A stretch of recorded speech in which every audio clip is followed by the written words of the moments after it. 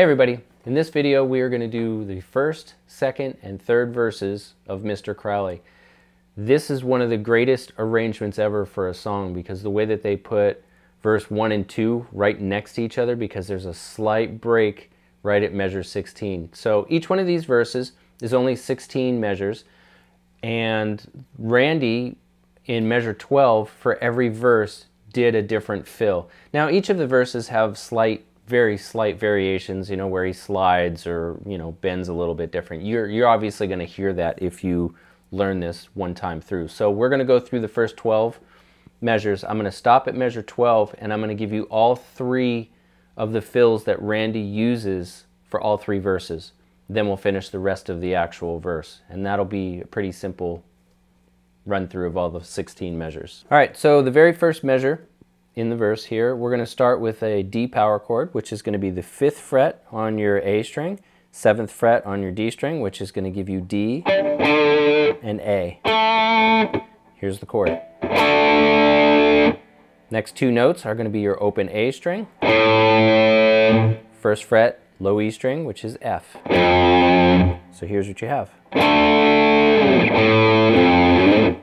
Next measure is going to start with that D chord again slide out of it. And we're going to come to the B flat chord, which is going to be first fret, third fret on your A and D string, which gives you B flat and F. B flat, F. You're going to play that chord twice. The fill that he's doing there is going to be 1 3 1 0, which is going to be B flat, C, B flat, A. Next measure is going to go back to the B flat chord twice third fret on your A string, which is C, which is going to get you to your next measure. So now let me give you the first four measures. Here's what you have.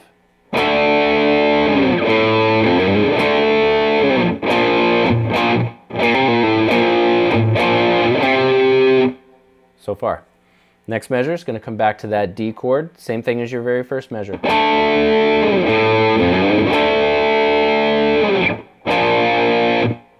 Back to your B flat chord for the next measure, which is going to be the two B flats again. Now this is one of the little variations that I was telling you about. So Randy does instead of just he added an extra couple of B flats in there. Next measure is going to be back to your B flat chords. Next measure is going to be to your C chords. Next measure is going to come up to the fifth fret on your A string, which is going to be D and E, so it's going to be 5, 7. And you're going to play this chord here, which is going to start fifth fret, fifth fret, and fifth fret from your D string, G string, and B string, which is going to give you G, C, and E. G, C, E. Next chord is going to be seventh fret, fifth fret, sixth fret. So here's what you have. Next measure is going to be two D chords. Now, next measure that we're coming up to is measure number 12. And as I mentioned, measure number 12 is a fill that Randy added in all three verses, different fills. So we're going to do all three fills right now. So the very first one that we're coming to in verse 1 it's going to start on the D string 5 7, which is going to give you G A. You're going to get a uh, double stop on your G and B string, which is going to be 5 6. You're going to play 7th fret, 6th fret on the G and the B, which is going to give you D and F. And real quick, Randy lifts his fingers off and goes to 5 5, which is going to give you C and E. You're going to hammer back down to the 7 6, which is your D and F and you're going to slide up to the ninth fret and the eighth fret, which is going to give you E and G.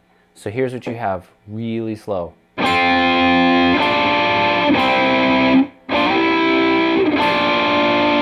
Back to the 7-6, and that's where it ends. So here's this fill again.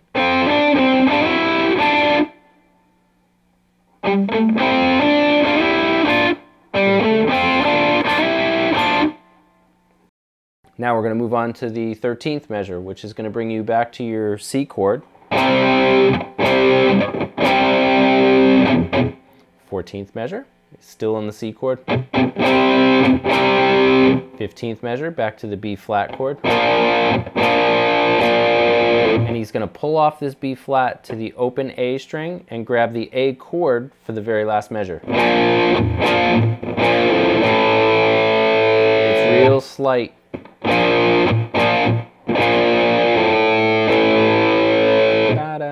You're at measure 16.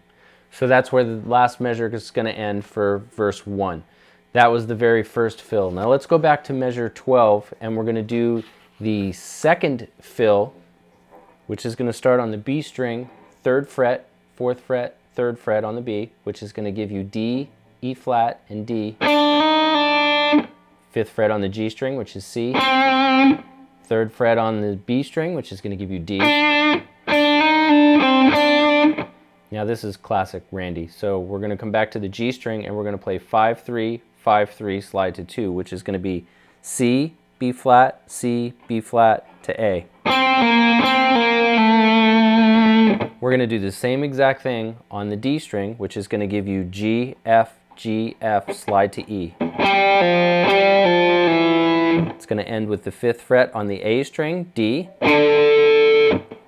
third fret on the A string, which is going to give you C. That's actually the next note in the next measure, measure uh, 13. So that's kind of how he fill, finishes this fill. So here it is, really slow.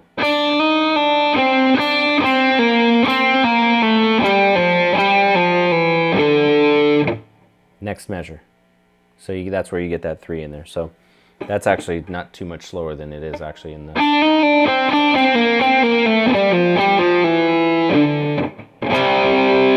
You're into the next measure. So now the next one that we're going to do is still that same measure, but in verse 3, Randy comes up a little bit higher, and he's going to start on your low E string 10th fret, which is going to be D.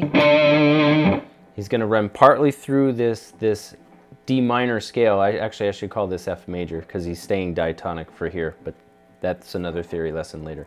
So starting on the 10th fret, next one's going to be the A string, 7, 8, 10, which is going to give you E, F, and G. He's going to jump up to the D string, 7th fret, which is your A. He's going to come back to your A string, 8 and 10, which is F and G. Here's what you have so far. Classic Randy again. He loves those little.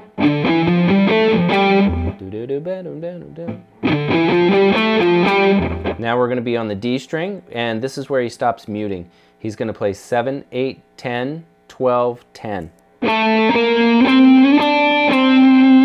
Which is going to give you A, B flat, C, D, C. Here it is again. And he's going to jump up to the G string, and he's going to play 9, 10, 12, which is going to be E, F, and G.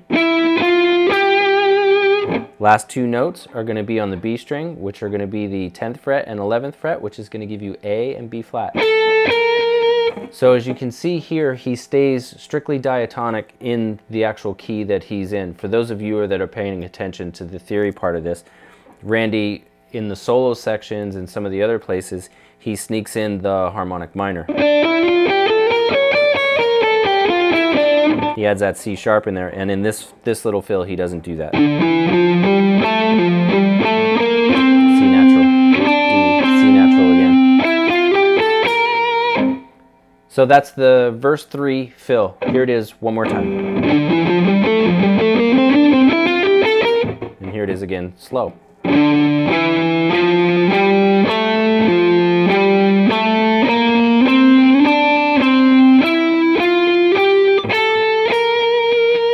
And then you finish it up, same measures, 13, 14, 15, 16. So that's the third fill for verse 3. You finish out the next four measures and you're done with your verse 3. So the next video after this is going to be guitar solo 1. Then after that's going to be the interlude video and then the outro solo. So I'll see you guys in the next video.